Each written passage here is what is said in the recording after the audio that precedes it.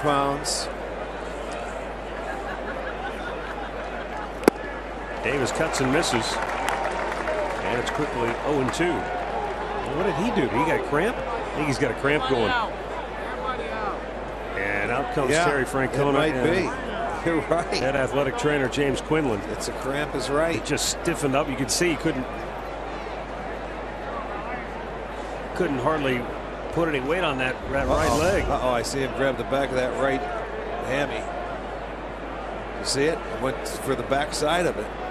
Boy, just weird on, on a swing.